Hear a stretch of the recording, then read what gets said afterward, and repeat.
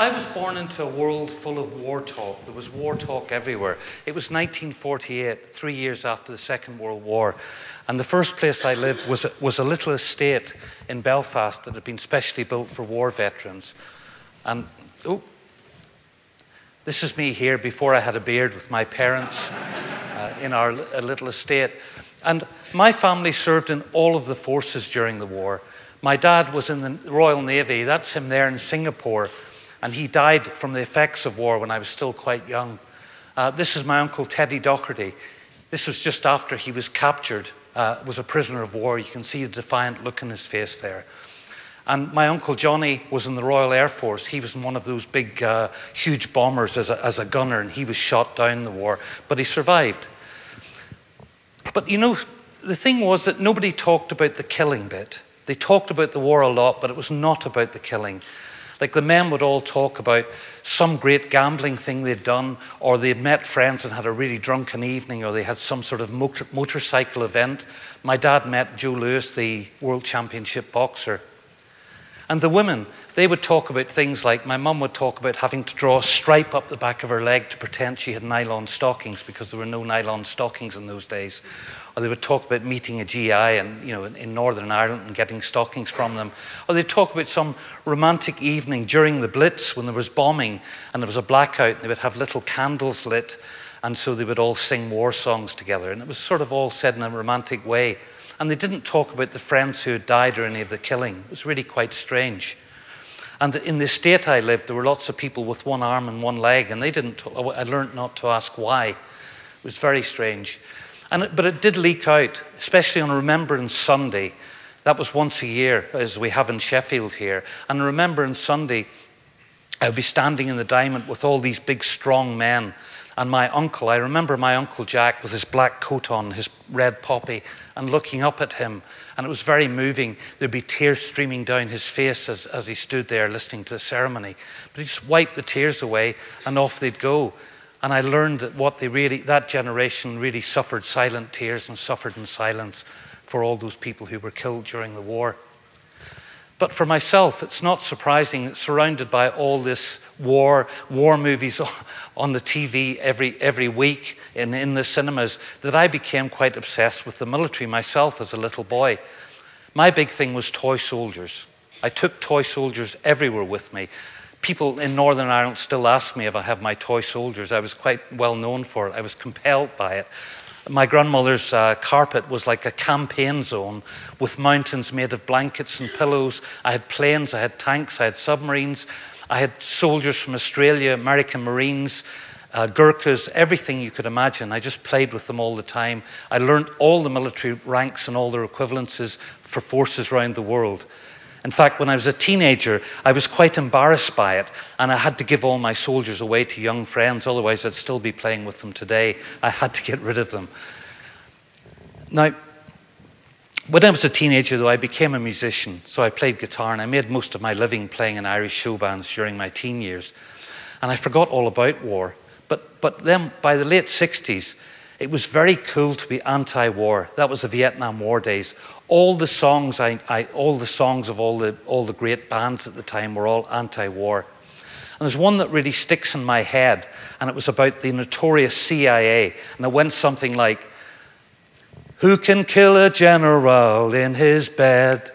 CIA, CIA man, hey man, CIA.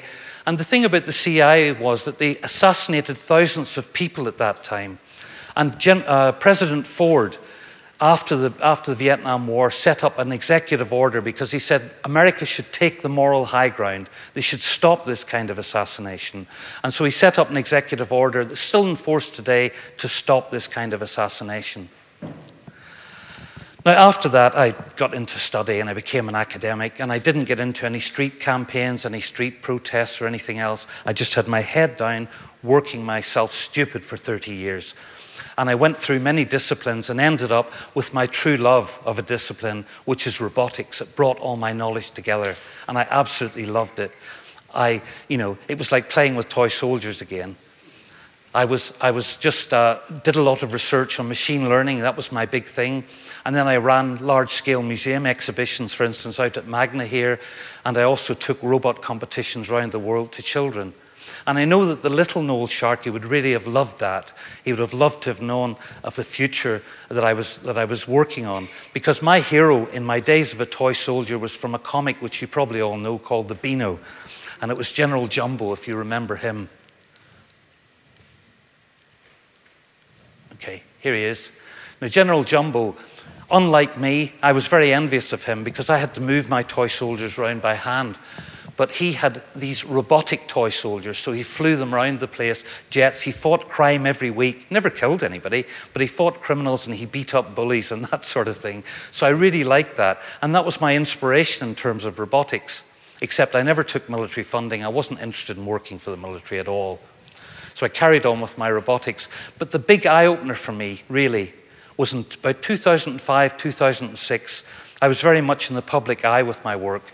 And journalists started asking me about military robotics, and I knew nothing about them really. I heard about drones, and I knew a little bit about bomb disposal coming from Northern Ireland, but nothing else. So I thought I'd go off and look at the internet for a couple of hours, and then I could answer questions. Well, that couple of hours turned into seven months of solid research. I was horrified by what I read. I was really shocked as a robotics person. It was like, especially the American roadmaps and military plans. I read all of them. They're an open information society, and they were all about autonomous killing machines that could go out, find their own targets, and kill them themselves. And people just weren't aware of this. And I was shocked because these guys didn't seem to understand the limitations of robotics. They were thinking in science fiction land in some sort of way. It was absolutely disgraceful. So, what could I do as an academic? Well, very little. I thought. But I'll show you first of all where it started. They're very like current General Jumbo. They're remote controlled. I'm sure you've seen these. They're drones, first used by the CIA in 2002 in Somalia. This is edited, of course.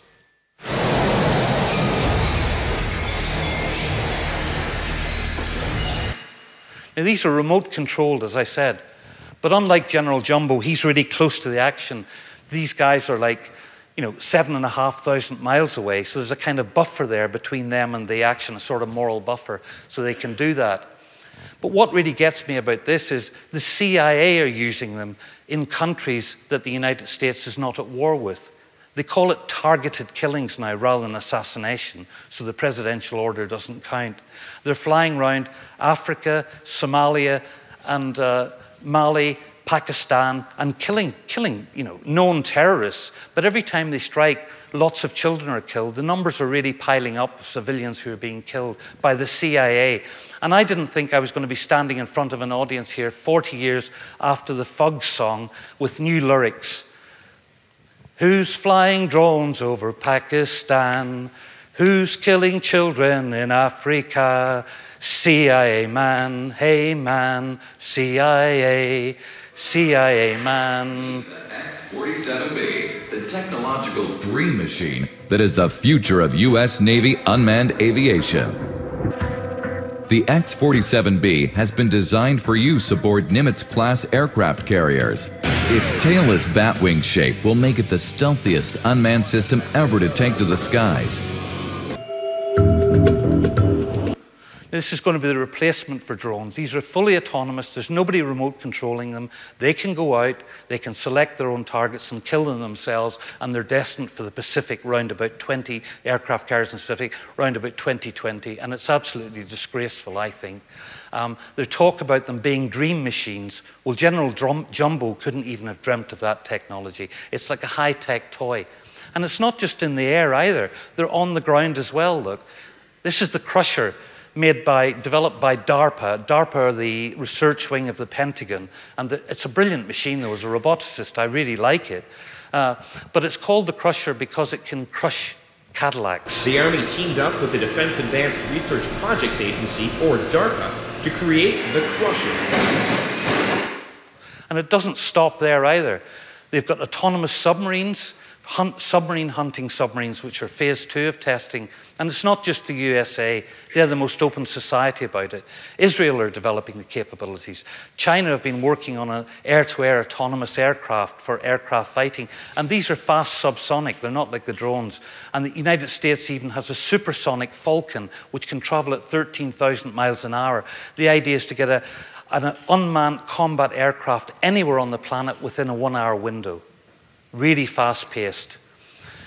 Russia have got the SCAT, and the UK, we've got the Mantis already, and we're about to test. You've moved my slide forward.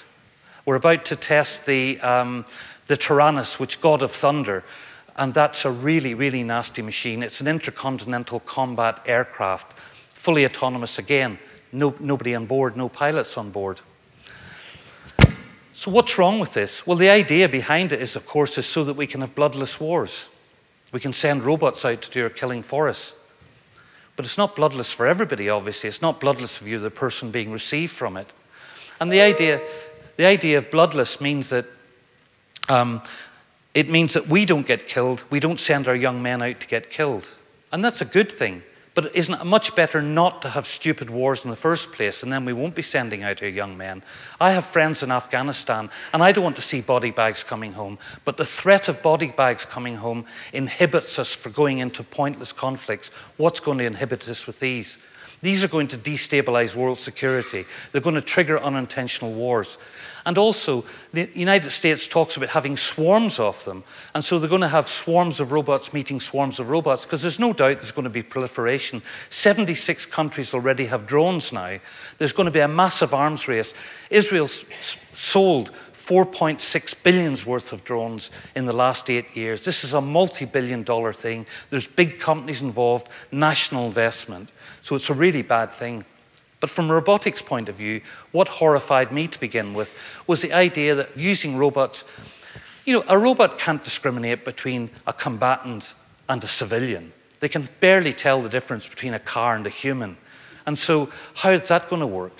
Um, they can't I just have these visions in my head. robots can't reason at all. And I would go to bed at night and I'd really be thinking about this. And I'd have horrible dreams about children, a child with a toy gun running out in front of a soldier, his mother screaming at him to come back. A soldier would understand that setting. A robot wouldn't and think, oh, there's something happening here, and gun down the child. And I could see children just wounded like that.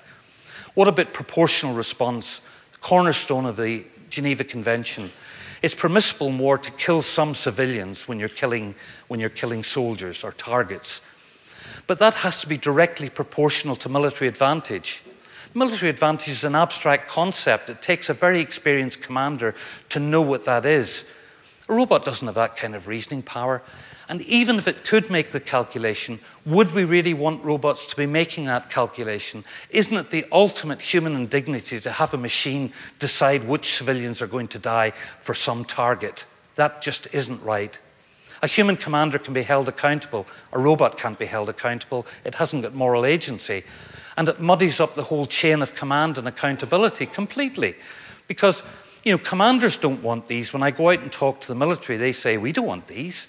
Um, because who's going to be held responsible? It can't be the commander. There could be a software glitch, it could be hacked, it could be spoofed, it could be a mechanical failure, it could take a bullet. So that just muddies up that whole, that whole chain.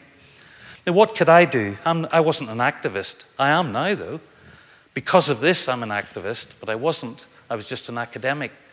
So, what all I could do was talk to journalists a lot about it, try and raise public awareness like I'm trying to do today.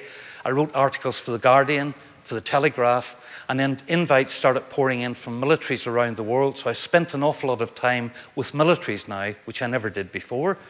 So all that playing with toy soldiers was actually quite helpful, except these, were, these guys were real.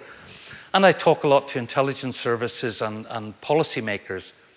But, but I have no way of, of getting governments to talk to each other, which is the important bit. I couldn't do that. And I got together in 2009 with academics from Australia, Germany, and America, and we set up the International Committee for Robot Arms Control, ICRAC, with the specific goal of getting governments to talk to each other about it, just chat about it in some way.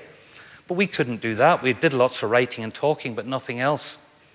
But a big breakthrough came for us last year, last October, we found a group of very powerful, prominent NGOs who, were, who had similar goals to us. It was the people who managed to get cluster munitions banned and landmines banned.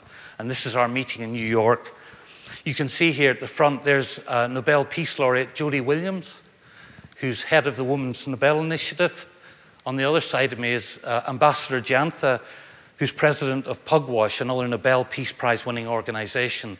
There's Human Rights Watch here, a giant organization We've got IKV Pax Christi, Harvard Law Clinic, that's Landmine Action, and these guys here are the great Article 36 from the UK.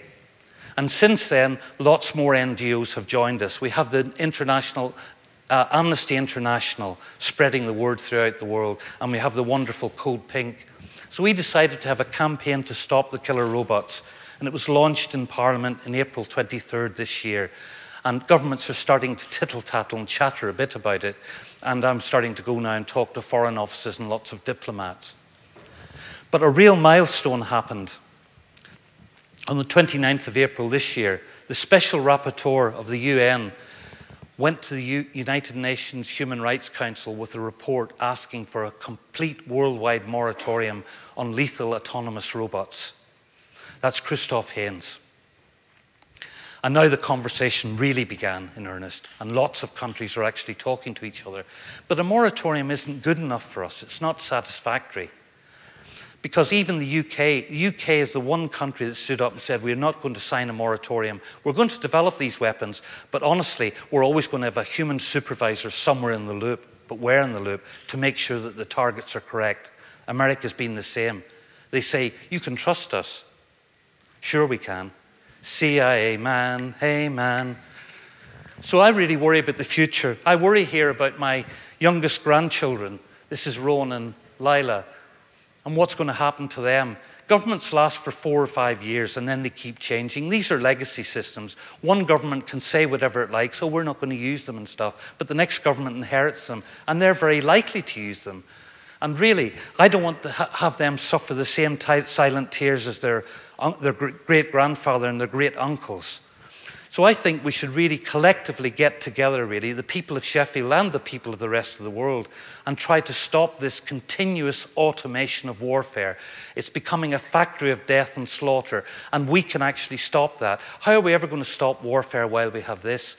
So I'm asking people to stop the killer robots Stop the killer robots. Thank you.